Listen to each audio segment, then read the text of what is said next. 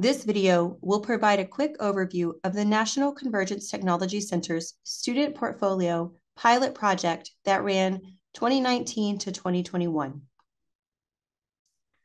A little bit about the National CTC. We are funded by a grant from the National Science Foundation. The CTC has been a national IT center since 2012. We support IT infrastructure programs at colleges across the country. Specifically, we want to help programs align curriculum with workforce needs in their region. We also manage an IT educator community of practice, collaborate with a group of national IT business leaders, and offer a number of free faculty professional development events. So for this student portfolio project, our BILT, that's our business and industry leadership team of IT employers, our BILT wanted to know if job applicants with the portfolio get hired more quickly than an applicant who goes into an interview with only a resume. The BILT has long advocated students create portfolios of their classwork to more clearly and concretely demonstrate their ability in an interview. And so for our renewal grant, we wrote this pilot project into the grant goals.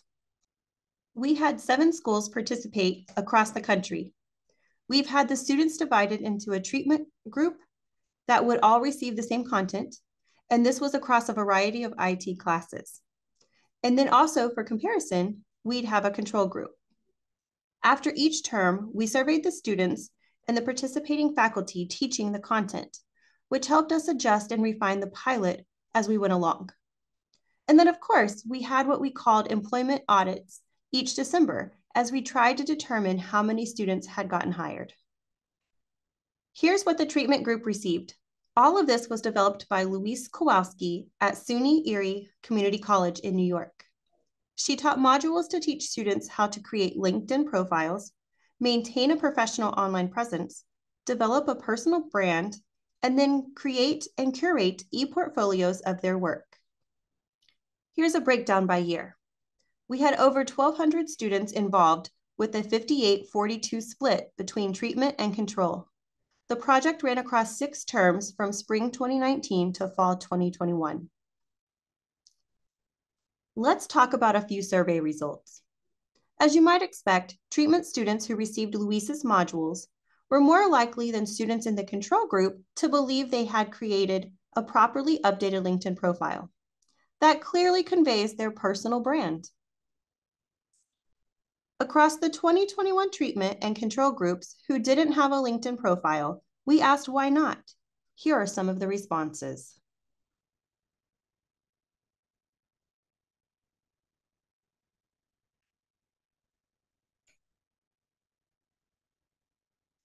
As we'd expect to see, treatment students who received Louise's modules were more likely than control students to believe they have an e-portfolio they could use in an interview. Across the 2021 treatment and control groups who didn't have an e-portfolio, we asked why not. Here are some of those responses. As you can see for both the LinkedIn and e-portfolios, a common theme among those who didn't have these ready was the perception that they weren't ready or didn't have enough yet to show or weren't sure what to show.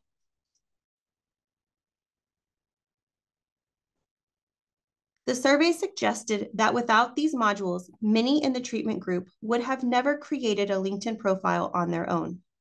Also, there seemed to be the added benefit taking the time to make the profiles may have instilled additional confidence in a student's technical ability. The treatment students all found the modules simple to do and reported they found them valuable. Faculty agreed that these modules were simple and valuable.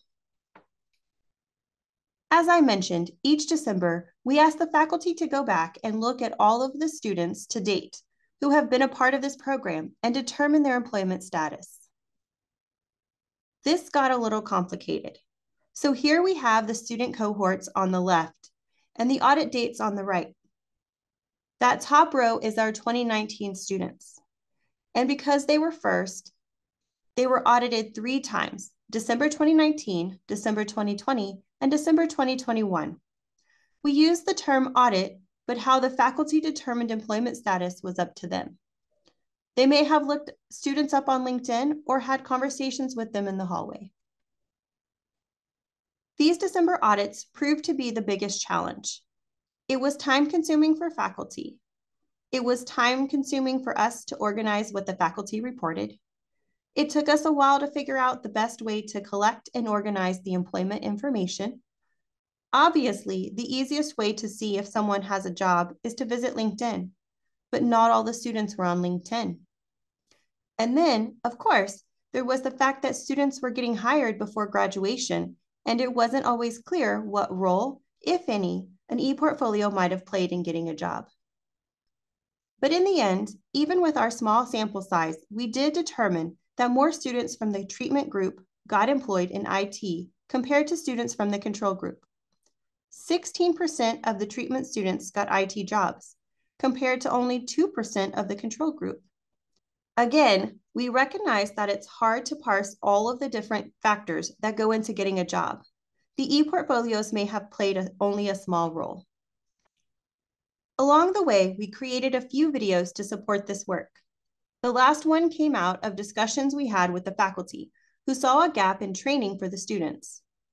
They have e-portfolios, but they didn't necessarily know how to use them in an interview. So we interviewed a few of our employers to get some suggestions on ways to leverage e-portfolios.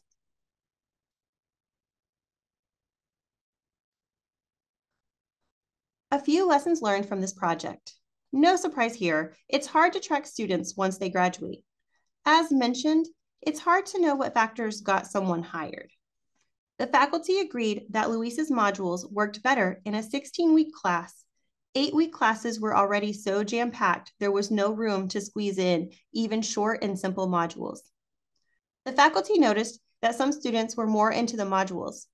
Students closer to the graduation and students in internship classes were understandably more motivated to make LinkedIn profiles and e-portfolios. Ideally, these modules would be introduced in first year classes so that students could add to their LinkedIn and e-portfolios as they worked through the programs and took classes. And finally, as we discussed, students may need additional help working out strategies to use the ePortfolios in an interview. We have a pretty detailed summary report with more survey numbers and further explanation for how this all worked. You can use the QR code on the screen or the TinyCC link to access the report. Thank you for your time.